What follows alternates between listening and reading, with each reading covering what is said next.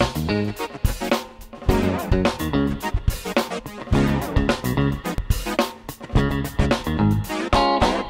foundations have a very important role to play in the current context because of the pandemic and the aggravated inequality, because of the climate crisis, because of challenges with regard to democracy, society. Um, foundations which have the opportunity to be risk takers, innovators, bridge builders, investors, grant makers really have a unique momentum to um, deploy their private resources strategically um, to change and to move uh, our, uh, our world and our societies into the right direction.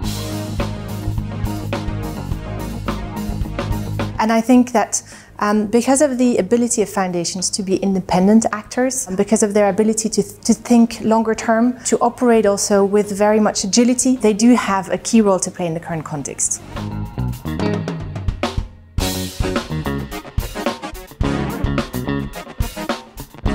How can they help us prepare for the future?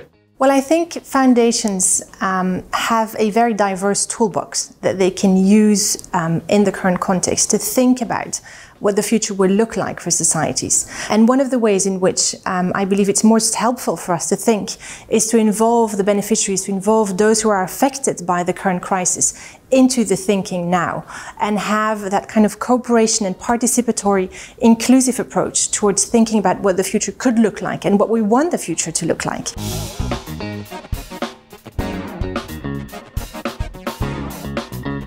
What is institutional uh, philanthropy and what role does it play in meeting the critical challenges our societies face? So, with institutional philanthropy, we refer to foundations, to corporate funders, and to other institutions who deploy their private means strategically for social good. And I think they have an important role to play in achieving kind of a whole of society approach towards the crisis that we are facing and the challenges that society um, is, is grappling with today. And with just nine years ahead of the 2030 target, it's very important that foundations and institutional philanthropy in general has its opportunity to play. Um, Um, in achieving the targets. Institutional philanthropy is part of the bigger philanthropic movement.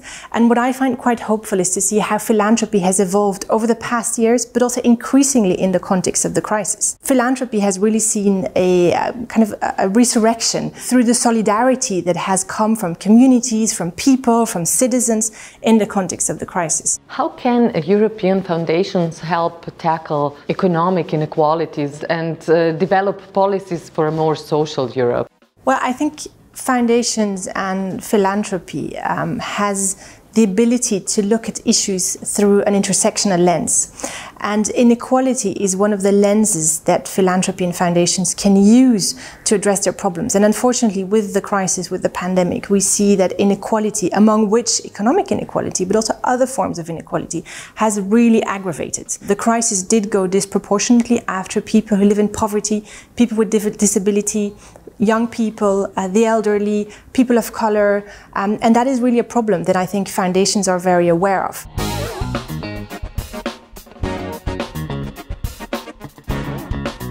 And then in terms of developing policies, um, I think there is a European agenda that allows us to partner with the European Union. Um, the priorities of uh, President von der Leyen, uh, in, in, to a great degree, really align with what foundations have on their agenda as well.